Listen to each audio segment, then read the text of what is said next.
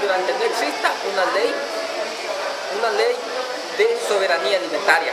Y así beneficie la